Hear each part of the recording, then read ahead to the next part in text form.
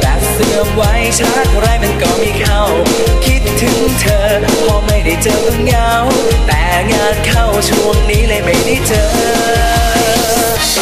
โอ้คนดีเธอใจพี่ได้ไหมจ๊ะถ้าถึงหลับตา ใจพี่ก็มีแต่เธอ อย่างวัน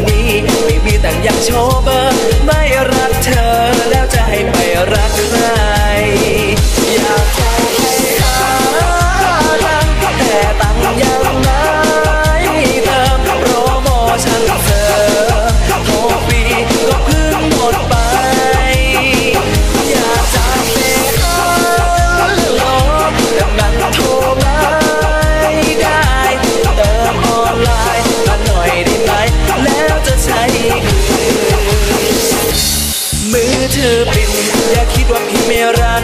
จะยืดยันไปไหนและแม่บุญยืนอ่านหนังสือเล่นนักต้องเล่นพักฟื้นคนเมื่อคืนที่เห็นก็เป็นเพื่อนกัน